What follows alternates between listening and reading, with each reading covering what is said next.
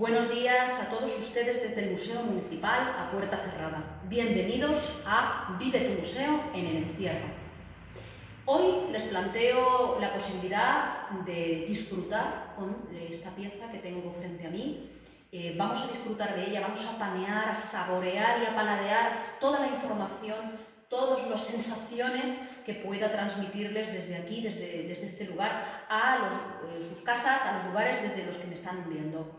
Eh, la luminaria, el soporte calado del siglo III o IV antes de nuestra era, una de las piezas estrella fundamentales dentro de la colección permanente del Museo Municipal. Esta pieza, hace unas semanas, fue la pieza del mes y durante una jornada estuvimos explicándola con una serie de réplicas, montamos aquí un pequeño mercadillo chiringuito eh, lleno de réplicas para poder tocar, para poder sentir. Esto es una réplica a mí me parece que es importante que utilicemos los sentidos, sobre todo el tacto, el olfato cuando se puede, el sonido también, para que podamos acercarnos mucho más a, todas las, piezas.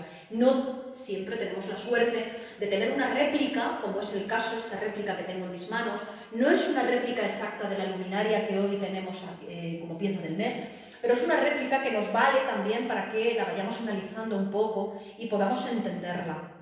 Primero, en primer lugar, voy a encuadrar la pieza dentro del contexto en el que ha aparecido.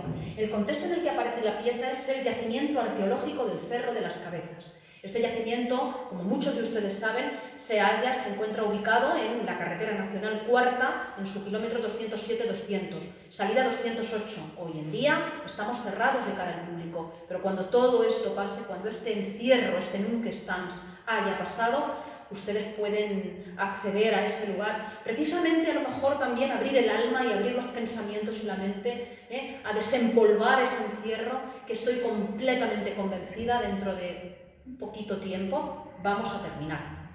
En ese yacimiento arqueológico, concretamente pertenece a la cultura ibérica, su cronología es siglo VI antes de nuestra era, aunque hay una ocupación en la, en la edad del bronce final anterior, eh, hasta finales del siglo III, principios del siglo II, antes de nuestra era. 14 hectáreas amuralladas por 1.700 y pico metros lineales y concretamente esta pieza apareció en eh, un almacén en la cuadrícula Z, un almacén muy peculiar, un almacén con una fuerte carga simbólica desde mi punto de vista, porque cuando los arqueólogos lo excavaron encontraron que todas las piezas que se hallaban allí habían sido depositadas para algún día volver a cogerlas. Las escondieron, las taparon, las dejaron abandonadas y son piezas, todas ellas, con una carga y con una relevancia muy simbólica. Piezas espectaculares, la clepsidra, la luminaria y piezas que no se habían utilizado Probablemente pertenecen al último momento de ocupación de la ciudad cuando en un momento determinado hay un descenso demográfico y la gente tiene que abandonar determinadas áreas de la población, de la ciudad, con la pretensión de volver algún día. Y aquí la tenemos. Yo en la última pieza del mes hablaba, hablaba de algo, decía, es un poco como una virgen que nunca fue utilizada. Es una pieza que por su naturaleza apareció en un estado de conservación malo, eh, fracturada, los procesos de restauración han sido magníficos y hoy en día la vemos íntegra, pero como es un soporte calado, esas zonas donde están los calados pues hicieron que la plasticidad del cuerpo de la pieza fuese menor y apareció bastante fracturada. Esto ocurre en todo el ámbito mm, ibérico con este tipo de soportes calados, aparecen en mal estado de conservación. Eh, bien, vamos a analizar un poco técnicamente la pieza cómo se elabora y, posteriormente vamos a hablar de su funcionalidad, cuáles podrían ser las interpretaciones, eh, para qué se podría utilizar esta pieza. En primer lugar, tengo que decir que hay un alarde técnico importante para llevarla a cabo. Fíjense, el cuerpo de la pieza es cilíndrico, normalmente las luminarias, los soportes calados, son piezas bastante altas. En la réplica que tengo, tenemos un cuerpo de pieza bastante alto, sin embargo, es más ancho lo que es el, diámetro de la pieza es un poquito más ancho. En este caso, esta pieza, esta réplica, tiene una base cerrada, pero la pieza que nos ocupa es un soporte abierto. Digo que es complicado técnicamente llevar a cabo estas piezas porque evidentemente se hacen a torno. Recordemos, las piezas del mundo ibérico son piezas hechas a torno de alfarero, no son piezas hechas a mano. Ni las cerámicas de cocina, ni las cerámicas de transporte, son piezas que se hagan a mano. Esto es una de las cosas, de los elementos diferenciadores para un arqueólogo cuando estamos en campo, para diferenciar las ocupaciones prehistóricas que están debajo de las eh, ibéricas. Cuando las piezas aparecen a mano, estamos en contextos prehistóricos, porque uno de los grandes logros del mundo ibérico, precisamente fueron los fenicios los encargados de traerlo hasta la península ibérica, fue el torno de alfarero, el torno lento, que permitió que el cuerpo de la pieza se eleve y que la capacidad plástica y la capacidad de contención, en la, la capacidad de la pieza sea mayor. Pero aún en torno es muy muy complicado elevar la pieza tanto y, sobre todo, hacer los calados dentro del cuerpo de la propia pieza. ¿Cómo se haría? Pues se lo voy a explicar. En primer lugar, la pieza se pone en el torno, una pieza, de, una, una pieza que está hecha con una pasta clara, con una cocción fantástica, es decir, una pieza de primer nivel y que desde luego la hizo un alfarero que mm, tenía una experiencia previa en hacer este tipo de piezas. Se levanta la pieza en el torno y probablemente para que la pieza no se caiga, eh, se orada cuando se ha secado parcialmente, es decir, no la orada en el momento de levantarla en el torno, sino que hay una sabiduría ancestral por parte del, alfarero, él sabe, hay un control técnico perfecto, él sabe el momento en el que tiene que dejarla secar horas, no mucho más de un día, depende también evidentemente de, la climatología, porque el barro puede, puede secarse, para poder hacer las incisiones y cortar, ir cortando los triángulos que van haciendo el calado de la pieza. Después se pasa al horno de secado. En el caso del Cerro de las Cabezas, los hornos que conocemos son hornos de una sola cámara. No es que en el ámbito ibérico no conozcan los hornos de dos cámaras, es sencillamente que en el Cerro de las Cabezas no han aparecido hornos de dos cámaras, los hornos que hay son de una sola cámara, son los hornos especiales y evidentemente es difícil controlar la temperatura porque sería algo, tengan en cuenta algo que es muy importante, no hay mm, eh, eh, mm, termómetros para poder controlar con el mercurio. Hemos llegado a la temperatura adecuada para poder meter las piezas. Primero meterían la leña hasta que alcanzase, se cierra la bocana, alcanza una temperatura adecuada, se abre la bocana, se evacúa de leña el horno y después se pasa la pieza. Pero todo esto se haría sin un, em, termómetro digital para poder eh, meter. Fíjense que se me vienen ideas a la cabeza, por ejemplo, ahora mismo los termómetros están completamente eh, agotados en las farmacias. Yo recuerdo cuando era pequeña y mi madre nos tomaba la temperatura, y ustedes seguro que lo saben, la temperatura siempre se ha tomado en la sien y con la cara. Cuando no hay un termómetro, y yo a veces tengo el termómetro agotado, no tiene pilas, eh, tengo que poner la cara en, la cabeza de mis hijos. Si no utilizo termómetro, me he dado cuenta que soy capaz, sobre todo por no asustarles a ellos, soy capaz de determinar la temperatura que tienen. 37 y medio, y lo compruebo, y es así. Con esto quiero hacer una pequeña reflexión. ¿Hasta qué punto la técnica o el tener algo que nos ayuda a hacer una tarea, que externaliza nuestra propia intuición, hace que olvidemos y que perdamos ciertas intuiciones que pueden ser de todo tipo, de tipo emocional, pero también de tipo laboral o de tipo productivo. Cómo ese alfarero controla perfectamente la temperatura para poder pasar la pieza y cocerla. Bien, una vez que está cocida, se enfría Normalmente, y en el Cerro de las Cabezas hay un ejemplo de un horno de, ya digo, reitero, una sola cámara, plataforma de piedra con la cúpula en ladrillo de adobe y al lado de la bocana una plataforma, una solera de piedra cuarcita donde depositar las piezas para que terminen su proceso de secar. Una vez que la pieza está seca del todo, se procede a pintarla. Se pintaría con peines eh, haciendo estas eh, iconografías que después, posteriormente, comentaré. En este caso, en esta pieza, tenemos por un lado un engobe en tono anaranjado. Eh, ese engobe se daría en el propio torno, una vez que la pieza estuviese seca, eh, se, daría con un pincel, moviendo la pieza, la pieza giraría haciendo exactamente así. Ese movimiento continuo y lento del torno permitiría que la banda llevase una continuidad.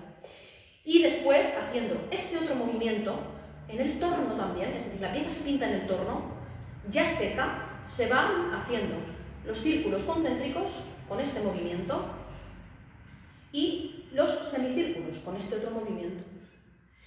En nuestra pieza tenemos bandas paralelas, tenemos semicírculos y tenemos un cuarto de círculo. Posteriormente hablaré eh, del simbolismo que tiene esta iconografía. Las estampillas se harían también en el momento preciso, esto no lo he dicho, cuando, cuando hablaba de, que se perforaba la pieza, tendría que haber dicho también en ese momento que se imprime la estampilla. Cuando el barro no está demasiado fresco, es decir, hay un momento en el que se deja secar, orear la pieza, y exactamente igual, la estampilla se hace con un cuño, normalmente una matriz que se han encontrado en el Cerro de las Cabezas, de hecho, en terracota, hueso. Entonces, se hace exactamente lo mismo que con la pintura. La pieza se pone en el torno de alfarero, se corta, se quita el trozo de barro y luego en la estampilla, en esta pieza, la réplica, no hay estampilla, pero en la parte superior, un poco antes de que comience el borde y el labio de la pieza, tenemos una estampilla.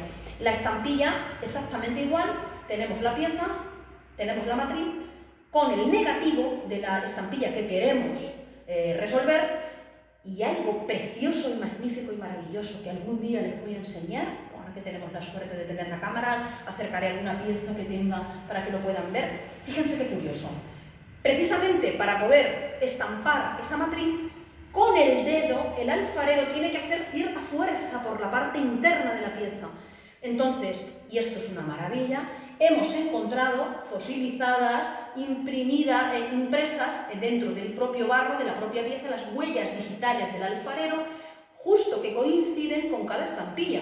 Para poner la estampilla, aprieto por dentro con el dedo, pongo la estampilla, corro la pieza, pongo la estampilla, corro la pieza, pongo la estampilla y nosotros hoy en día tenemos esas huellas digitales dentro de la mayor parte de las piezas que llevan la estampilla. Bien. Es una pieza que tiene un recorrido dentro del panorama del ámbito mediterráneo y muy conocida en otras zonas, por ejemplo en los etruscos, los etruscos, los zoloi. Los zoloi son piezas que han sido identificadas pues exactamente igual que nuestra luminaria, soporte calado. Son soportes calados que se han utilizado fundamentalmente para algún tipo de, eh, para tener algún tipo de luz eh, dentro, algún tipo de tea, o vela, luminaria. La parte de arriba, al decir soporte, estamos hablando de una pieza intermedia entre el suelo o una superficie horizontal y para poder poner en ella algo también.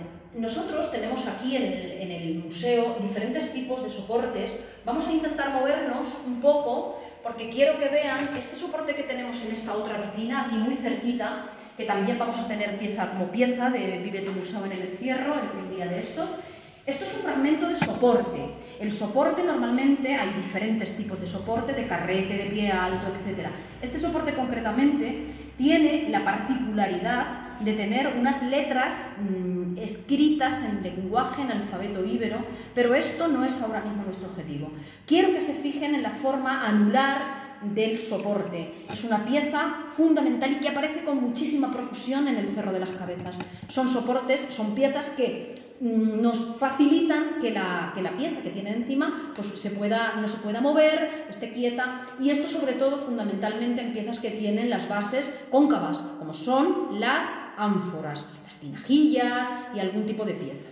Vamos a volver a nuestra luminaria porque les quiero hablar de la funcionalidad que podrían tener este tipo de piezas tan peculiares. A ver, en este sentido, el íbero, el prehistórico, el protohistórico lo tiene claro. Cualquier funcionalidad que hay en la pieza, eh, perdón, cualquier forma que hay en la pieza tiene que ver con su funcionalidad. Evidentemente hay capricho, evidentemente hay decoración, hay simbolismo, pero técnica y funcionalmente las, piezas eh, son perfectas.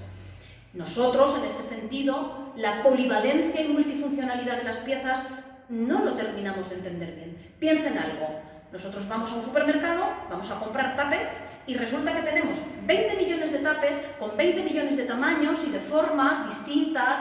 Eh, hemos llegado a ver, bueno, yo he llegado a ver un limón de silicona, un tomate de silicona y una cebolla de silicona para poder meter el trocito de, cebolla que nos queda cuando la cortamos, el trocito de tomate de la tostada que nos resta y el trocito de limón, porque saben ustedes que siempre utilizamos solo medio limón y el otro medio limón lo metemos en ese limón de silicona. Es decir, estamos multiplicando la cantidad de objetos eh, de una forma un tanto exponencial y esto es otra reflexión que hay que hacer. Hemos perdido esa polivalencia, esa funcionalidad polivalente de los objetos y el arqueólogo tiene en este sentido un filtro cultural que nos impide muchas veces entender, entender que una misma pieza puede tener distintas significaciones, distintas funcionalidades. Pero siempre hay que atender a la forma para poder comprender cuál podría ser la función. Y evidentemente con la dificultad que implica no estar dentro de esa propia cultura. Nosotros no somos seres de esta cultura. Nosotros estamos fuera. Nuestro filtro cultural al final es determinante para poder decir si esto es o no es una urna cineraria, si aquí se guardaba el garum o se guardaba el vino o con esto se hacía mantequilla. En ese sentido, profundo respeto a la verdadera funcionalidad que tuviese esa pieza en aquel contexto cultural. Y todo lo que nosotros podemos manejar, barajar, son hipótesis, son funcionalidades que le damos nosotros a priori con los ojos de nuestra cultura. Pero lo que está claro y es obvio es que en primer lugar, es un soporte, un soporte de pie alto, un soporte muy alto, con un cuerpo cilíndrico muy alto, un soporte decorado, lo que no eh, nos arroja el indicio de que de alguna forma podría ser utilizado en ámbitos culturales, festivos, religiosos, etc. Si nos vamos a la tradición mediterránea que apoya la lectura de este tipo de piezas, eh, sabemos que en el caso de la cultura fenicia existen e incluso si nos vamos al antiguo Zoloi, al, templo de los fenicios, al templo semítico, encontramos que hay unas columnas que eh, apoyan el altar o ara donde se hace presente la divinidad. Esas eh, columnas en el Zoloi, posteriormente en la tradición mediterránea, fenicio, púnico, etrusco, ibérico, etc., van a dar paso a unas luminarias, a unos soportes calados que están ubicados a los lados del ara, del espacio sagrado, del lugar donde se hace presente esa divinidad, donde se hace el sacrificio, en el lugar donde el, sacerdote, el chamán, etc., hace ese ritual, y esas luminarias, esos soportes calados, en este caso serían el trasunto de aquellas otras columnas que provienen del templo semítico. Pero realmente si pensamos bien y pensamos por un momento, nosotros también en las iglesias eh, cristianas, en nuestras iglesias, en, eh, nuestros lugares de culto, los espacios cristianos, también tenemos los cirios pascuales, también tenemos los dos eh, em, candelabros que apoyarían ese lugar de culto. Podría ser también esa reminiscencia de esa luz sagrada que acompaña ese momento ritual. El hecho de que esté calada, el hecho de que ese alarde técnico que he comentado, nos está indicando evidentemente que habría una translucencia, es decir, habría una luz que estaría dentro y por el soporte, por, por las paredes de la pieza, de alguna forma esa luz crearía un espacio tenue, simbólico y sagrado. No olvidemos que en lo sagrado hay una gran escenografía. Los templos iberos, todos los templos del ámbito mediterráneo son templos intimistas, incluso Cancho Roano, que ha tenido diferentes funcionalidades, se ha cambiado un poco también la, interpretación de este, de este lugar. Eh, decía Arturo Ruiz Rodríguez del CAI, del Centro Andaluz de Arqueología Ibérica, eh, Pierre Noguet también, de la Casa de Velázquez, comentaban hace unos años, decían, me decían a mí personalmente en una visita en el Cerro de las Cabezas, me decían, el espacio sagrado ibero es malo, es difícil de rastrear, es muy complicado de rastrear. Porque eh, en el ámbito arqueológico tenemos unos muros, tenemos un altar que podría ser un simple hogar de una casa y tendríamos soportes móviles, elementos, piezas móviles, las terracotas, eh, por ejemplo el oráculo, la terracota móvil, que otro día también será pieza, podrían tener cimaterios, eh, podrían tener soportes calados con algún tipo, ahora vamos a ver también, que podría quemarse en la parte alta del cimaterio o en la parte alta del soporte calado. Eh, son eh, escenografías móviles, porque no es un templo en el cual encontremos elementos perdurables, en el cual encontremos escultura, aras, altares que hayan permanecido. Entonces, son elementos que arqueológicamente se rastrean con dificultad. Hemos, por lo tanto, de pensar que este soporte calado, algún día, este concretamente nunca fue utilizado, recordemos que era como una virgen, pero fueron utilizados en este tipo de lugares sagrados. Con respecto a, eh, ya digo, eh, qué se podría quemar, qué se podría calentar en la parte alta del soporte. En la parte de abajo hemos dicho que podría colocarse algún tipo de vela, de tea. Recordemos en este sentido y en este momento que el aceite de oliva, que llega a la península ibérica en esta cronología, justamente en el periodo orientalizante, llega a la península ibérica primero como un elemento de importación. Posteriormente, en los griegos, se comienza a elaborar el primer aceite, aparecen los primeros molinos de aceiteros y la, variedad salvaje del de acebuche comienza a cultivarse. Ese aceite, permítanme que se lo diga, no se echaba en las tostadas. Era un aceite que se utilizaba fundamentalmente para el culto, para los aceites, los maquillajes, para hacer los ungüentos, era un aceite de calidad. Las grasas animales eran el principal aporte calórico para esa sociedad, pero los aceites como el aceite de oliva o el aceite de almendras se utilizarían para este tipo de rituales. Por lo tanto, velas con la cera de abeja, eh, pequeñas lámparas o con aceites vegetales de calidad, elevarían su calor hasta una pieza que estaría en la parte alta del soporte, es decir, concretamente aquí. Habría algún tipo de plato, habría algún tipo de soporte en el cual actuaría como un cimaterio. Los cimaterios son piezas en que están identificadas, pues realmente la funcionalidad es muy similar a la que también se dota a la luminaria. Son piezas en las que se, eh, han, se han catalogado como quemaperfumes. ¿Qué tipo de perfumes? ¿Qué tipo de sustancias podrían quemarse encima de una luminaria? Bueno, evidentemente la destilación no se conoce todavía, es decir, no son capaces de sacar un aceite esencial porque el proceso de es el alambique que hoy en día utilizamos para sacar el aceite esencial de la lavanda, la lavanda officinalis, del romero, del tomillo, estos aceites esenciales que utilizamos en la farmacopea, que utilizamos en la higiene o incluso en la industria farmacéutica, no había una capacidad técnica para poder sacar el aceite esencial de la planta. Por lo tanto, lo que se hacía era en los cimaterios, en los soportes calados, etc., lo que se quemaban eran directamente las plantas. Se quemaban plantas que podrían tener algún tipo de sustancia psicotrópica. Estoy pensando en la cannabis sativa, es decir, en, la marihuana, que es la conocida marihuana, con, eh, con su principio activo que lógicamente se esparciría en el templo o en el lugar en el que estuviesen reunidos. Hay mucho tipo de plantas que han sido utilizadas, los psicoactivos, a lo largo de la humanidad y que hoy en día pues, se utilizan en la industria farmacéutica. Ustedes saben, por ejemplo, la capacidad mm, farmacológica que tiene el THD, la marihuana, la cannabis sativa, se está utilizando para espectros del autismo, mm, también para eh, dolencias concomitantes a, por ejemplo, la fibromialgia, etc. Eh, son procesos terapéuticos en los que incluso se inhibe la sustancia psicoactiva y se utilizan de forma, de forma médica. Pero hay muchas más plantas y en este sentido algún día abundaremos en esto cuando, por ejemplo, podemos hacer eh, como pieza el ungüentario, eh, que lo tengo aquí al lado precisamente de la luminaria, y podremos hablar de la belladona, podremos hablar de la cantidad de plantas que se utilizaban eh, como ungüento, no solamente para, para exhalar los vapores. Pues bien, todo esto nos hace pensar, evidentemente, en lo sagrado, en lo trascendental, en el símbolo. ¿Cuál es el símbolo?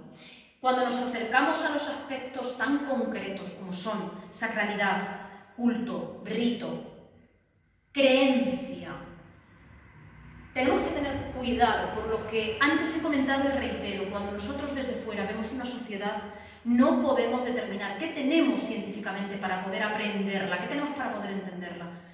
El registro arqueológico, la fuente escrita cuando existe, pero es muy complicado y además es muy peligroso intentar reproducir cuáles serían sus dioses, sus temores, sus creencias. Sin embargo, desde el Museo Municipal en el Nunca en un momento en el que las calles están llenas de miedo, es decir, en las calles habita el miedo, como un habitante eh, invisible, palpable, ¿eh? como decía Miguel de Unamuno en Niebla, que decía que la, la calle la habitaba la niebla, esa niebla que era una niebla espiritual, ¿verdad? Pues ese miedo que hoy en día está en nuestras calles, que casi se puede cortar a, golpe de falcatazo. Creo que es ese inmanente, intemporal, que también ellos, evidentemente, manejarían. El miedo es un, es un referente universal, que diría Carl Jung. Es un referente universal. ¿Miedo a qué? Nosotros tenemos miedo a algo invisible. En este caso es un virus. ¿A qué tendrían ellos miedo? También a lo invisible, o a lo claramente visible. Tenemos miedo a un virus, pero también tenemos una falta de suministro de alimentos en los supermercados. Tenemos miedo a llegar y que no haya alimentos, que no haya comida, que no haya pan, ¿eh? que no haya mascarillas. ¿De qué naturaleza era el miedo? ¿Cómo luchaban contra ese miedo? Nosotros abordamos ese miedo como podemos, con información, metiéndonos en las redes sociales, intentando informarnos. Ellos combatían su miedo a través de este tipo de rituales, de cultos, rezando, pidiendo, orando. Y no es algo religioso, orar, pensar, trascender, meditar, pararse en esto lento. Tiene que ver también con algo ancestral. Yo, para, terminar, les invito de alguna forma a aprovechar este momento de nunca estás, a aprovechar este momento de miedo generalizado sin tinte religioso eh, único, no, no, como religión, sino como ser humano, como ancestralidad, a orar, a rezar, como cada uno pueda, como cada uno sepa, utilizando elementos que todos ustedes tienen en casa, luminarias que pueden fabricar con un bote de cristal y una vela dentro. Enciendan velas, enciendan luz, enciendan luz y hágase la luz. Nunca estás.